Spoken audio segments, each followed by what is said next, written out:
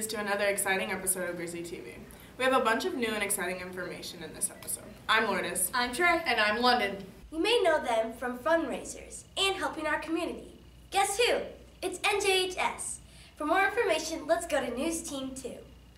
I'm here with Miss Russell, Haley Payne, and Quinn Evans, and we're going to talk about Philanthropic February.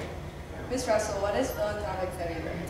Um, Philanthropic February is where National Junior Honor Society has decided that they want to help others. Philanthropy is helping others, um, being motivated extrinsically, not getting a reward for it, not um, getting attention for it, just doing it because you want to help others. So we decided this month, because it rhymes, um, that we would help others around our community by raising money and donating items. Haley, who are uh, NJHS donating to? We're donating to Drumm Farm Center for Children. It's like a foster care program, but uh, they like house the people who are fostering the children. Quinn, what items are the NJHS collecting? Um, next week we are collecting school supplies and hygiene items, and we will also be having a raffle for Pie in the Face and a BYOD day. Back to you. Do you want to sharpen your mind on the subject of the Revolutionary War or even the Civil War? Well, then you should join History Club. Let's go to News Team 3 for more information. Hey guys, I'm here with Miss Ritchie who teaches 7th and 8th grade social studies to talk to you about History Club. Okay, so what days do you guys meet? History Club usually meets on Thursday mornings at 7:30 in room 811 and anybody is welcome to join us at any time. Sometimes we do meet at different times and days, but I always put that on the What does History Club do? We do a variety of things. Uh, my main mission is that my history club students who are fans of history get a, more knowledge about what is going on in the world around them. And uh, we've studied Jesse James, we put together a field trip, we sponsored 80s Day, which is why I look like this today. Um, and that's for the completion of our new project case. We did research on um, 1985 86, what were the top movies, TV shows, songs, who uh, was big in sports and politics, and when they compared those from the past to those of modern times. That sounds very cool. And what's your favorite part about History Club? My favorite part is getting to be with students who are enthusiastic about what we study. Um, because I teach seventh and eighth grade history, and all students have to take that, I don't always get just those students who are really into it, who really want a more in depth knowledge of it. And so it's fun with History Club to explore some of those outside areas. students, how many students participate in History Club? Well, we are brand new to Paul Kinder, and um, this is our first year. We meet at the same time as Science Club, and we are a rather small group. Uh, we usually have anywhere from four to ten members at our meetings. And can you tell us about upcoming things that you'll be learning about? Sure. Um, we, like I said, did the 80s Day today. We finished our display case. And um, moving forward, we're going to do a couple of things. We're going to sponsor um, school edited historic films every once in a while. And also, we are going to uh, be concentrating on the original gangsters. Um, the mafia and its influence in Kansas City, the shootout at uh, Union Station, Bonnie and Clyde, who are famous gangsters that came through here in the 1930s. Well, that's very interesting. Thank you. You're very welcome. Hello, I'm Seth Guest. And I'm Jason Gross. Welcome back to another episode of Sports Center on Grizzly TV. Last episode, we made our predictions on who we thought was going to win the Super Bowl, but we were both way off as the Denver Broncos beat the Carolina Panthers 24 to 10. Peyton Manning came out on top, and Von Miller won the MVP. Now that basketball season's over, track season is up and coming, and there's various events that anyone can take part in. There is 100 meter to low hurdles, 100 meter dash, 400 meter dash, 800 meter run, 200 meter dash, 800 meter relay, 400 meter relay, and 1600 meter relay. That's the running events. And in the field events, they have shot put, discus, long jump, triple jump, and high jump. So if you're in eighth grade, come out to track. I mean, there's something to do from everybody. Do you know lots of random facts? Do you like competing against other schools? If you answered yes to any of these questions, Scholar Bowl might be for you. Let's go to News Team 4 to learn more about Scholar Bowl. Hi, I'm Spencer Hancock from uh, New Teams, News Team 4, and I'm here with JP to talk about Scholar Bowl. Uh, Scholar Bowl is basically um, a competition between two schools, and we have a team, other schools have teams, and it's normally trivia-like questions uh, that you buzz into and answer the question, and normally you'd get the point. And if you want to go get into Scholar Bowl, you can talk to Mr. Ming or maybe one of the people that know that are in Scholar Bowl, like JP and I, and get one of the forms that Mr. Ming hands out. And if you have that form in, you can go to the, all the outside meets and you can participate as long as you're in seventh grade.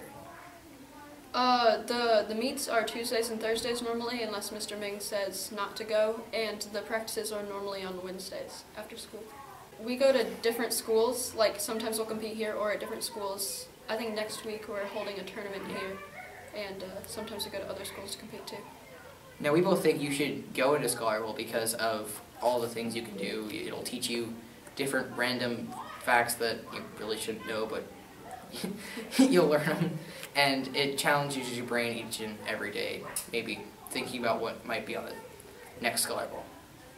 I'm sure most of you have met our new teacher, Miss Kendall. She teaches Facts of Life, Bon Appetit, and Fashion 101. Let's go to News Team 5 to hear more information on Miss Kendall.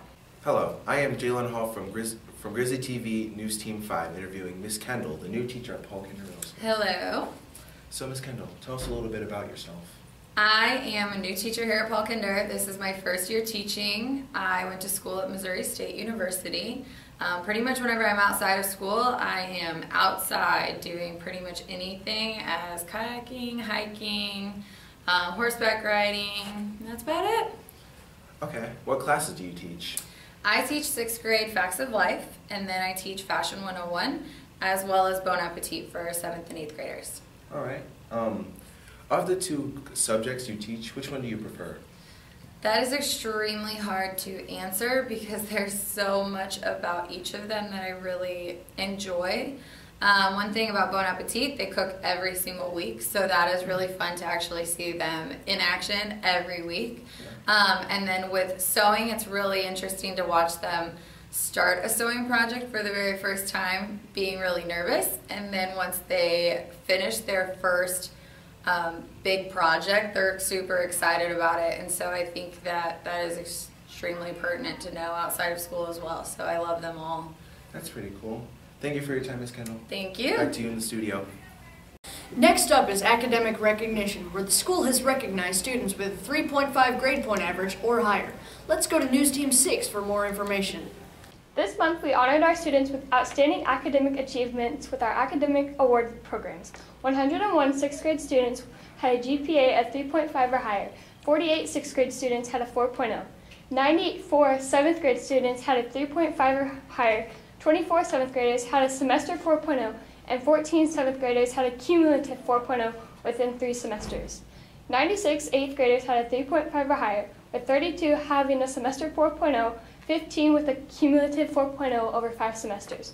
291 students were recognized for outstanding academic achievement this week. 39% of our students were honored this week for having a 3.5 or higher GPA. Thanks, students, for all your hard work and congratulations. Hey, Sydney, did you hear that school was canceled tomorrow? What? How do you know that? Well, I saw it on the school's Twitter page. They have tons of information on upcoming events and school closings. What? The school has a Twitter page? Yeah, you should go follow them at Paul Kinder MS. They also have an Instagram and a Facebook. Go follow them. But first, let's take a selfie. They are hissing cockroaches, so they, they make a hissing noise in order to protect themselves. So they have these little holes along the sides of their bodies, and that's where they breathe. They can also push that air out of their body to make a hiss noise. Oh my god. Oh, that's cool. That's so cool. It's a California king snake. But his ribs are floating ribs. So when that great big mouse passes by, he can push his ribs out and let that mouse pass by, and then his ribs go back into their spot. And he can also do that with his organs. So when that mouse passes by his heart, he moves his heart to one side. That mouse passes by, and his heart moves back over. Pretty crazy, right? Now that's pretty interesting. Isn't that amazing? This week's episode was Cookie Challenge. A cookie challenge is when you put a cookie on your forehead and you try to wiggle it down to your mouth. Let's get to it. Sydney got it. Oh, God dang it. I don't know! I'm still doing it. I don't care. Are you sure?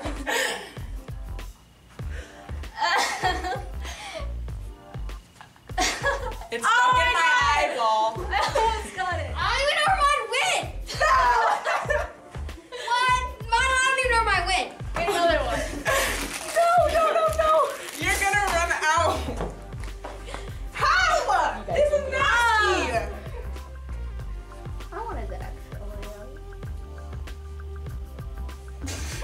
in my eye.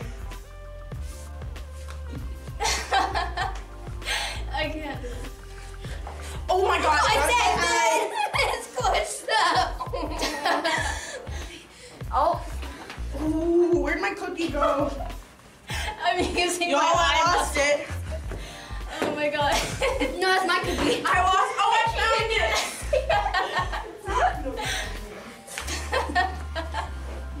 Oh, it's getting. Ah.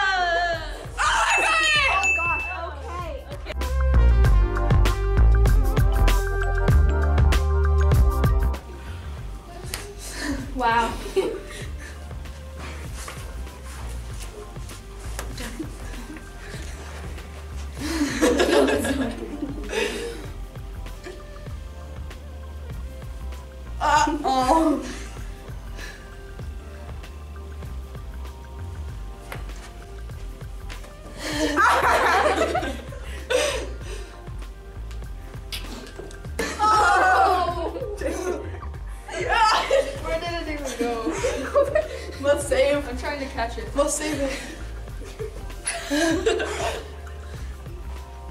there's crumbs in my eyes. Oh, really? How do you think I feel? Cotton did it. Oh man.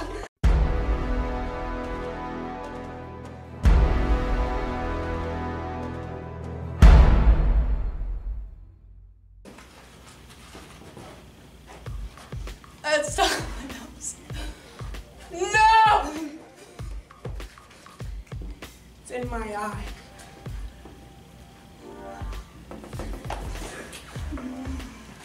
No!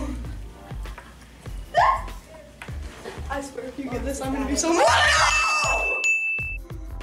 Thanks for tuning in to this episode of Grizzly TV. I'm Trey. I'm Lourdes. And I'm London. And thanks for watching.